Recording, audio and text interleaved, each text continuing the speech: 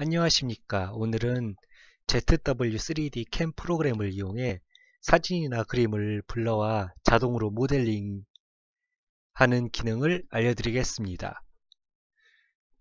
먼저 새로 만들기에서 파트 어셈블리를 열어주고요. 여기다 블록을 하나 그려볼게요. 뭐 원통을 그리셔도 되고요. 그건 아무거나 하시면 됩니다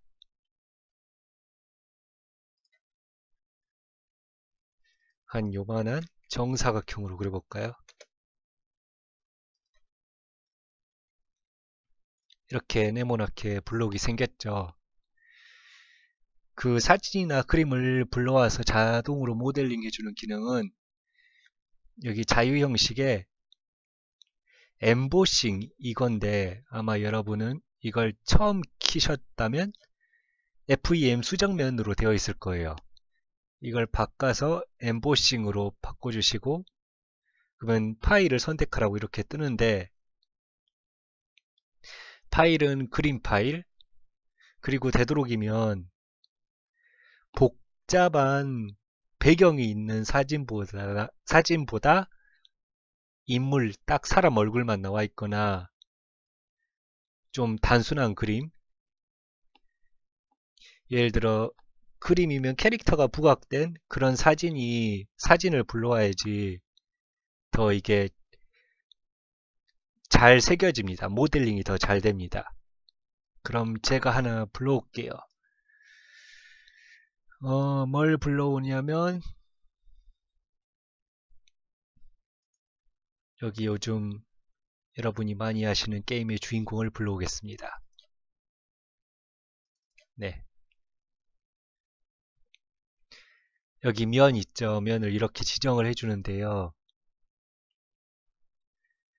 이 최대 옵셋은 얘가 높으면 높을수록 깊이 깎습니다.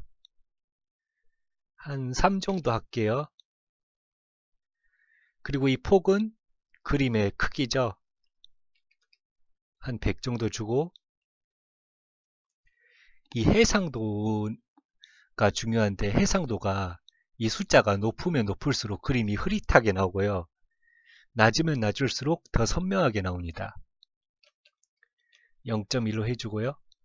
그리고 여기 밑에 텍스처 맵 이미지 삽입이라고 있는데 이걸 체크를 하면 그림이랑 같이 모델링 돼서 나옵니다. 물론 실제로 깎으면 그냥 소재 색깔대로 나오겠죠. 알루미늄이면 알루미늄 그냥 은색 나오겠고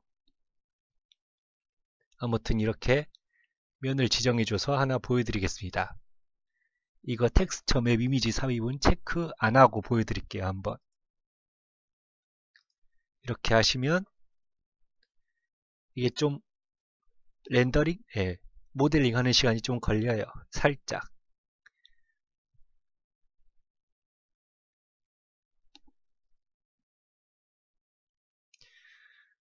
물론 원통도 됩니다. 원통도 똑같아요. 이렇게 보시면 보이시죠? 네. 이렇게 보이시죠? 이런 식으로 모델링이 되고요. 아까 그 잠깐만요. 이걸 한 번 더 보여드릴게요.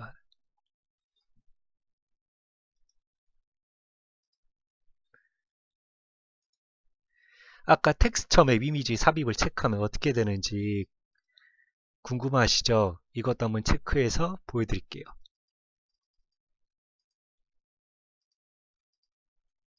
면을 체크하고 똑같이 하고 이렇게 하면 이렇게 그림 파일하고 같이 렌더링이 됩니다. 그러니까 이건 참고만 하라는 거예요. 일종의 실제로는 이 그림 파일은 없고 그냥 소재 색깔만 나오겠죠. 이건 그냥 참고용이에요. 여기 모델링 할 때만 이렇게 나옵니다. 뭐 잘 나왔네요. 그러면 여러분이 이제 그러면 이제 이런 블록이 아니라 원통도 여러분이 가끔 깎으시겠죠. 원통에다도 막 깎고 하시겠죠. 원통 하는 것도 보여드릴게요.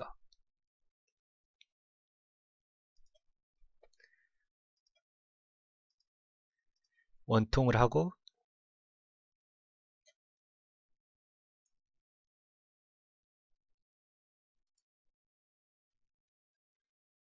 이렇게 하고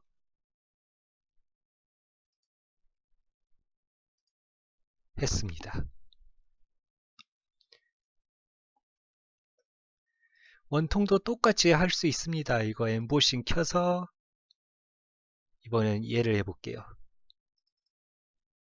여기 하고 최대 옵셋 폭 얘는 체크를 해제해 볼게요. 이러고 확인을 해주면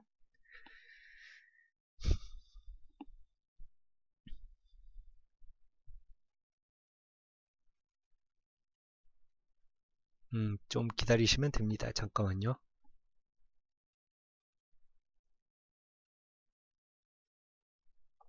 네, 이렇게 그림이 이쁘게 잘 새겨졌네요. 이런 방법이 있고 네, 물론 옆면에도 할 수 있습니다. 이렇게 원통형이면 이런 원통 바깥쪽에도 이미지를 삽입할 수 있는데요. 똑같이 엠보싱을 누르고 그림을 다른 그림을 선택해 볼게요. 얘 누르고 면을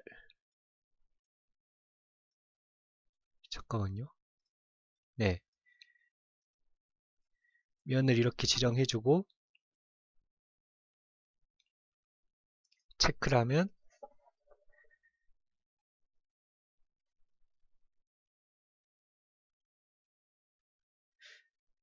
좀 기다리셔야 합니다. 참 이렇게 네 이렇게 옆면에도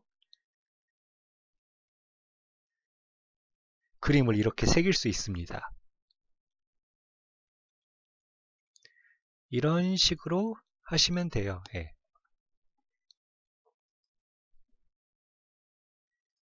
아까 그 옵션 중에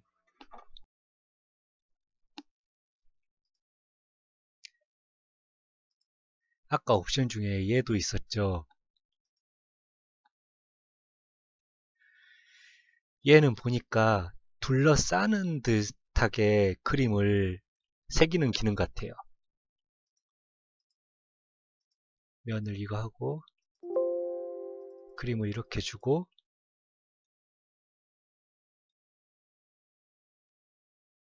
확인을 하면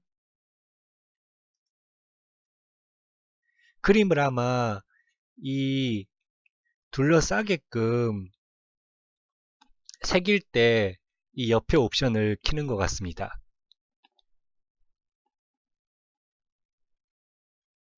시간이 좀 더 걸리네요. 네, 이런 식으로 나옵니다. 이렇게 둘러싸듯이요. 엠보싱 기능은 이러한 기능이고 이 기능의 설명은 여기까지 하겠습니다.